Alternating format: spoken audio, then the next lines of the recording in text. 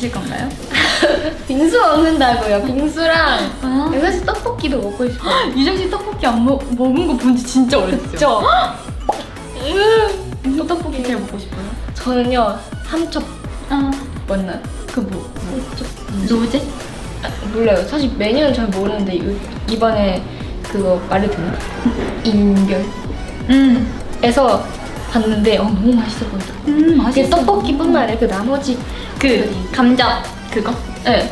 해시그랑 그거랑 또 뭐 마트인데 뭐 막창도 있고 진짜? 곱창도 있고 몰라요. 어쨌든 맛있어 보이길래 한번 쳐봤어요. 뱀이름.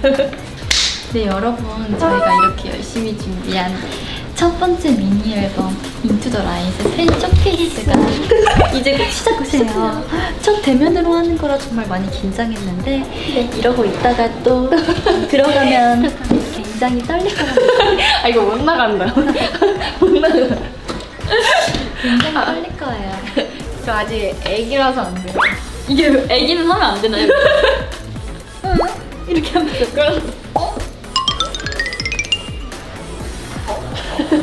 좋아요. 나갈 수 있는 거. 나가길 바래요. 나가길 바래요. 아자 아자 아자.